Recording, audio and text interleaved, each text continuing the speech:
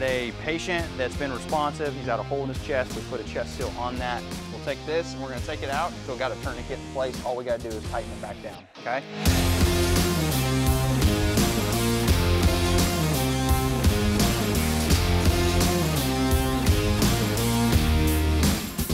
Okay, respirations. Respirations are breathing. We have to take care of breathing. when we have a bullet hole in the chest area, these lungs that are in the chest are inflated because of a vacuum around the lung. So the lung is in there, it can compress down pretty small, but there's a vacuum around it that has a seal, and that vacuum between the chest wall and that lung helps hold that lung open. If you puncture that, it allows air to come in that cavity, you lose that vacuum and that lung collapses. If we take a chest seal and we put a chest seal on here, as they breathe in, it opens that chest wall and it pulls that lung inflated a little bit. And then as they breathe out, that air needs to go somewhere, which is why we want a vented chest seal. That air can escape a little bit. And over time, as they breathe, every time it opens up a little bit more. And then we put a, uh, chest seal on there and it covers it up. And um, that vent will allow the air to come out, but not to go back in. If there's a hole here, big hole here, and their trachea is the size of your pinky. So your trachea is about the size of your pinky. If there's a hole here that has a lot of resistance and it's the size of your pinky, and we've got a hole here that's that big, path of least resistance, where do you think the air is going to go when he takes a breath in? Right here. It's not going into the lungs, it's going into the bullet hole that's here. We put a seal on that and he takes a breath in. Now it's going into the lungs, right? So that's one reason is so the air goes in the right spot. The second is so that we can help reinflate that lung after the fact, okay? So neck to navel, we're gonna throw a chest seal. Now that is on the side, on the front, on the back. If you have a shot here, be thinking about an exit wound, and bullets don't usually go all the way through, they tumble some, so it may be lower on the back. You don't know what angle it came in, all that. So just make sure you do a good assessment of this patient and you've taken care of any penetrating trauma in the core. Throw a chest seal on. Is chest seal going to help bleeding? No. It's just for respirations, right? That's why we're in R. Okay? Then, if we have a patient that's not breathing, this is where we bring our BVM in. We can breathe for him. We're not going to really go into that right now, but that's where we can start assisting his ventilations here in our respirations phase. You have to be careful though, because when you start pushing air into here and you've got a ruptured lung, you can end up with a bunch of pressure in there. So these are vented chest seals. So when you open them up, you notice they have vents in here. So when we put them on, see that circle in the middle? Circle goes over the area of injury. This gel sticks to it, and now we have three vents. These vents can let blood and air out of that wound. So if there's blood in that cavity that leaks out, it can come out. If there's air in there, it can expel that air so it doesn't end up causing a tension pneumo in the side of the chest. But when they take a breath in, this is going to collapse against that wound and it's going to keep air from coming in. So we want air to be able to get out but not in. So that's why we use vented seals. Let's say I don't have a vented seal. I use this plastic. I take this, I take some tape, and I tape it on there.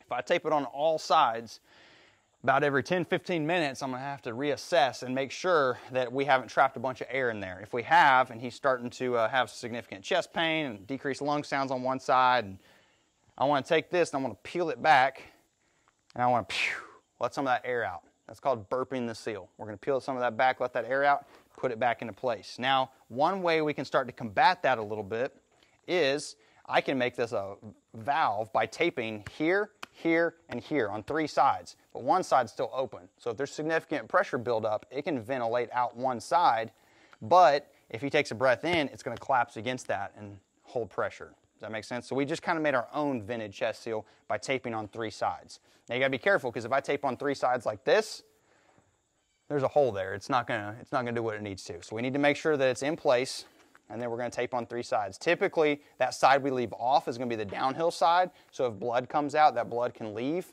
If we do it here and it's open, that blood's gonna pool in there and clot in there. And that's not gonna help it uh, vent very well. Does that make sense? Mm -hmm. So only do a vented on one of the holes?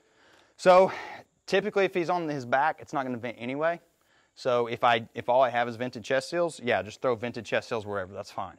If I have plastic packaging and I've got a hole here and a hole out the other side, I'm going to put my vent on the top because it's not it's exposed, so it should be able to vent fine.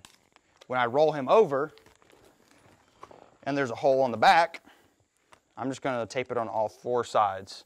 That way I don't have to worry about it opening and coming off and that kind of thing. I want this pretty secure. We can vent through the top. So I know I've got a vent somewhere. Um, but you do need to kind of treat each side separately. So if he's got a bullet hole here and then a separate injury over here, I probably want this one vented because it's it may not be um, working the same way as this. Does that make sense? So on the opposite side of the chest, I'm probably going to want to vent on the other side as well. So preferred is vented on everything. If it's on the same lung, it doesn't necessarily. Correct. have to be vented. Correct. Preferred vented everywhere. If you don't have it, then at least make sure one of your holes is on that side is vented. That make sense? If not, if all you have is plastic, tape it and just reassess that guy every 10, 15 minutes and peel it back and let some of that air out. They also come with gauze in here. What is this for? So dry it off so it sticks well. That's really what it is. So these will be in each packet. So take one of these bad boys, dry it off, slap it on. So if you're at the mall somewhere and they've got the little AED signs and there's AED and someone gets shot in the chest, you can pull the AED pad and use it. Um, those AED pads are much more expensive than these. These are like 12 bucks for a set of two. The AED pads are, I don't know, 50, 60 bucks for the cheap ones. But if that's all you have, they work great and they're big. So you can slap one of those on there and it covers a large area. So yeah. Respirations, we're gonna do chest seals neck to navel. Make sure you check all the way around. Possible BVM, but you have to be careful with that BVM because you're gonna be forcing air down in one of these possibly collapsed lungs. So we have to be really careful with pressure and make sure we have a vented chest seal and then we're checking that, okay? So you've got a patient that's been responsive. He's got a hole in his chest. We put a chest seal on that. We notice 10 minutes later he's really lethargic and not really talking to us. What's the first thing we want to check? Chest seal. Let's pull it back and uh, see if see if that helps um, in, reinflate that lung. That may not do it. He may have lost enough blood. It may be something else, but we do want to check that. Okay. Circulation. When we're going over circulation, we've already done massive hemorrhage, which is related to circulation. Now we're talking about blood circulation. We're kind of going a step further than we did in the original MARCH algorithm, or the M. So when we're doing this, there's a couple things we're doing. One, we're going to look at pelvic binders, and we're going to talk about improvised and commercial pelvic binders in a minute. We're going to be talking about reassessing tourniquets. So I got a tourniquet on there, I go check it, I want to make sure it's tight. I also may have a severe injury here. They put a tourniquet on high and tight. It's doing its job, but I may want to reposition that closer down. So we reposition tourniquets. We can also downgrade a tourniquet to wound packing. We convert that to wound packing. So let's say there's some severe bleeding, lower arm, direct threat care, we throw a tourniquet on, we pull them out, we get them to a safe spot, and we're doing further care on them. And we go, there's a good bit of bleeding here, but I think we can wound pack that and stop it. Well, if I wound pack that area, that keeps circulation to the rest of the arm and gives him a better chance for having most use of his arm, especially if it's going to be over two hours before he gets to surgery. Okay? So that's where we're going to convert a tourniquet. So we'll talk about that in a minute. Reassessing tourniquet, converting it if we need, or moving the tourniquet closer down to that area if it's going to be longer than two hours before he gets to care. So pelvic binder, checking tourniquets, moving them down. This is also the point where typically you would start IVs, give fluids, blood transfusion, all that kind of stuff in our circulation care. Um, but we're not doing that here. So we're doing any other further wound packing, blood um, circulation, keep the blood inside the body. Venous bleeding from veins, not, not arteries, but venous bleeding can become an issue. You can lose enough blood through a vein that it becomes an issue. So we want to take care of those right now too. So we want to stop all bleeding, keep that inside the body, convert stuff so it's all optimum, and we're kind of rechecking everything circulation-wise that we've been through. Converting a tourniquet. Okay, so we have a uh, through and through gunshot wound, arterial bleeding. We've put a tourniquet on, and now we're going to convert that over. He's got an extended time till surgery, so we want to go ahead and pack this. So I'm going to take my uh, wound packing gauze. I'm going to do like anything else, find the area of bleed, direct pressure, pack it in here, and I'm going to fill this void, pack it in there tight, put this in place, and now I'm going to wrap pressure on it. Get done, and I'll secure that clip. Okay, so we've got it wound packed. This is still in place. Now what we're going to do is we'll take this and we're going to take it out, and we're going to slowly let pressure off. And as we let pressure off now, we're going to be monitoring this to make sure it doesn't just start pouring blood. Once we think we're good, like, okay, we're good, I'm going to take this, I'm going to reset this two to three inches above the wound. We're going to put it in place. We're not going to tighten it down, but I'm just going to set it here and leave it in place. That way, if something ruptures and something goes south here, I've still got a tourniquet in place. All we got to do is tighten it back down, okay? So if we've got an amputation of a hand and we've got a tourniquet high and tight, when we go, we can move that tourniquet So rather than a through and through, let's say it's a full hand amputation. We can't wound pack an amputation. So all we would do on this would be instead of this wound packing, this tourniquet would be in place. We'd come put a second tourniquet on down here, two to three inches above the wound, tighten it down, do all that fun stuff with the tourniquet, put it in place, secure it. And then we would release this one slowly to make sure this one's holding, and then we could take this one off. And now we've converted, well, we haven't converted, we're still using a tourniquet, but we have moved it. We've relocated the tourniquet down two to three inches above the wound. That way we're at least getting some perfusion to the rest of this. Now, if you've had a tourniquet in place for more than two hours, um, if it's already been there for over two hours, don't go back and take it back off. Um, because at that point you have enough lactic acid and everything built up in there that now you could have further complications um, from that. That acid, if it's been if it's been two hours, all that acid buildup and everything in there, when it comes, it's going to go through circulation. It's going to hit the heart, and it can cause arrhythmias in the heart, and you can end up killing the patient. If it's been in place for over two hours already, don't convert it, or don't move it. Just leave it in place, and, and they need to be at a hospital or somewhere when that uh, tourniquet gets removed. Does that make sense?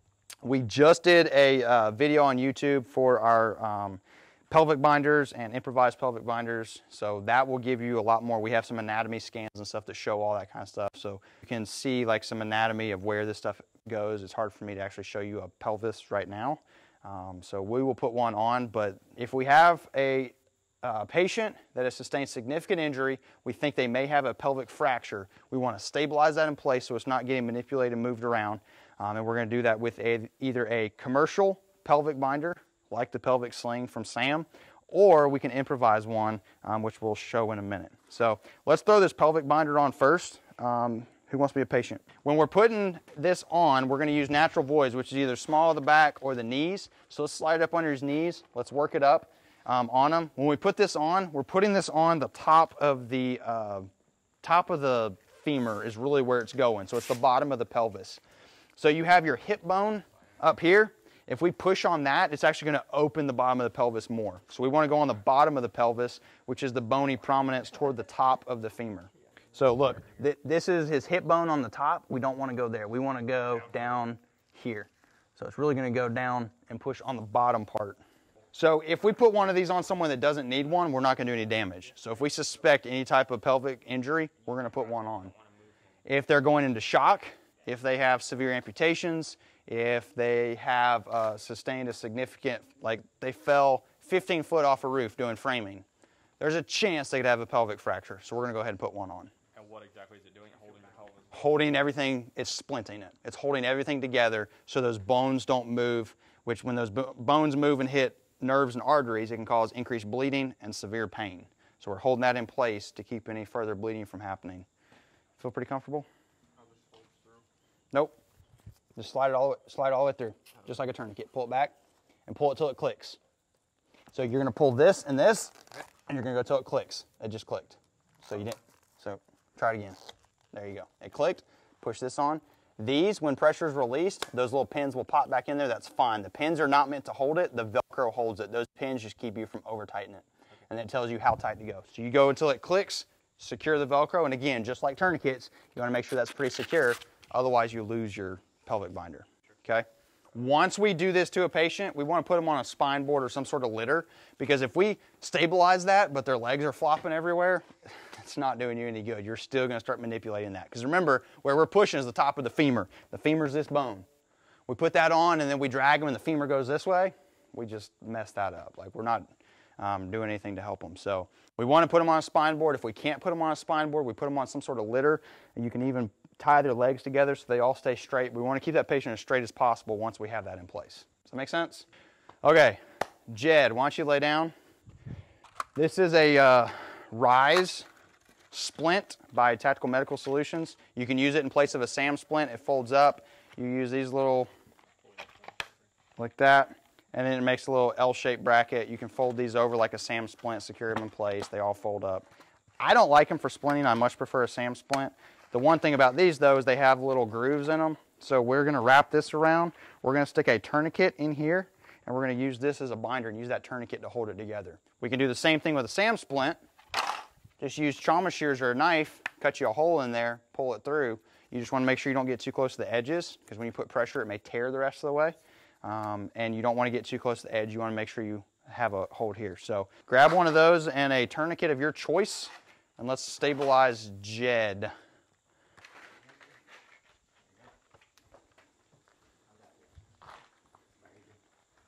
So push that through and pull it all the way through to the hub. It's actually bigger than the regular tourniquet. So pull it all the way through the hub because you want maximum amount of space here. So I would pull it all the way down to somewhere like that. Yeah, that's fine. Yep. Clip it in place, pull it tight. And we're not putting these on as tight as we are tourniquets. We're not trying to occlude anything. We're just stabilizing. We're holding this in place. Better use the regular tourniquet, I think. Hey, we're learning here though, right? We're like, okay, this doesn't work very well for this. So if you only got one tourniquet and you want it to be multi-purpose, then maybe this is not the one for you. Yeah.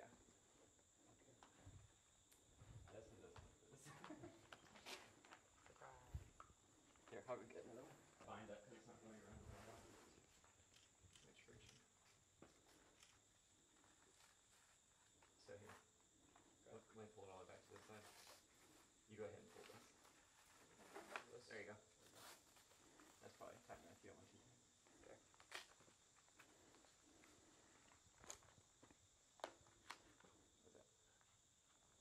So I think this is a bit higher than it needs to be. We're probably Just come down a little bit more. just, yeah, we probably need to be right there. But you, you don't have to fix it for this one. But just know, everyone feel on yourself.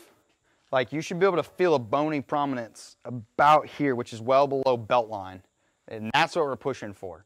If you come up to the hip bone, which is up here, that's not what we're pushing for. If we push these together, it's actually going to pull the bottom apart because they're like wings, pelvic wings. And when we push on the top, it actually pulls the bottom. You're going to pivot it. So we want to push on the bottom and hold the bottom together. Does that make sense? Yep. So here you go, Sam. You're at the construction site and something happens. Someone falls a significant way. You got a SAM splint in your kit. You have a tourniquet. So now you can improvise and come up with something based on minimal equipment that you already have without having to have a $80. I think that's $80 for that sling. Yeah. Bring it back over. Pull, yeah, just pull all the way through. Yep, there you go. I would pull it all the way through the hub, and then if it ends up being, and this is where, yeah, when you put it on him, you're not gonna have a whole lot of Velcro. Go ahead and pull it through. Whoop. So use use the rise one. So yeah, and this is a perfect example. Like I'm glad that happened. So it, we've done this several times, so it's starting to weaken it. And if you do it over and over, it, it's metal, right? It'll start to get that crease in there and weaken it. But two, we don't need to go super tight on these. We're just stabilizing in place, right? And go through it. Yeah. Oh, that's interesting. So you'd have to shift this over, right? That's why you pull this side all the way to the hub. Gotcha. And yeah, I think position on that looks good. It's right up here, should be right up there on the top of the uh, top of the hip bone or the, the femur. Okay, so let's use let's use a blanket. I've got a survival blanket here. You can use a bed sheet, you can use a blanket. So I'm gonna take the survival blanket, which we'll use in a minute for hypothermia treatment. Take it and fold it several times. Good for baked potatoes and cold. Fold it in half, twist, fold it in half one more time. Okay. Lay down, Caden. Let's stick these up under here. Sam, go the other side. Okay, so we need to get this up under him. The best way to do this a lot of times is to have one person stand here and very gently grab his pockets and just pick up. So we're not like rolling and moving, we're just real easily picking up. Go ahead and slide it into place. Set it down. We want this wide to cradle it. We're gonna pull this. I'm gonna give that way. Pull. Pull some good pressure. Okay? And now we're gonna twist. Okay? Significant, decent pressure. We're gonna take that and now we can zip tie this or we can tie this off somehow, but really tape, zip tie, something like that to hold this in place. And now we've improvised with either a sheet or even an emergency blanket. Our H here is for hypothermia and head injury. So head injury, he can become altered. We have that issue with weapons and stuff, right? He can become combative. There's not a lot we can do except recognize the head injury. Um, we can eventually know that, hey, he's got a head injury. It means he's probably got swelling. At some point, he's probably going to stop breathing or have abnormal breathing. We may have to help with ventilations and help breathing for him. Biggest thing we're going to do on the H is hypothermia treatment. So let's say you've been bleeding, you've lost a lot of blood. What happens when you get wet? You come out, you get cold, right?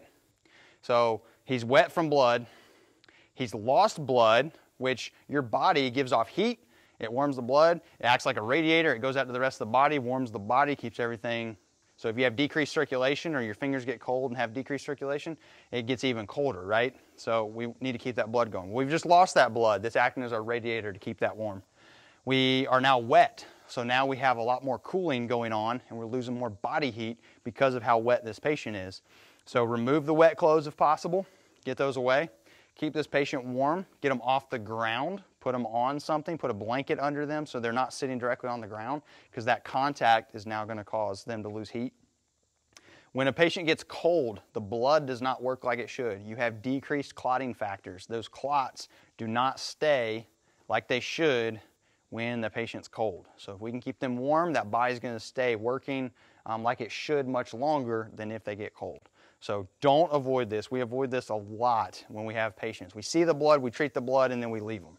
Let's keep them warm. We have emergency blankets. You saw how small that packed down in that little kit.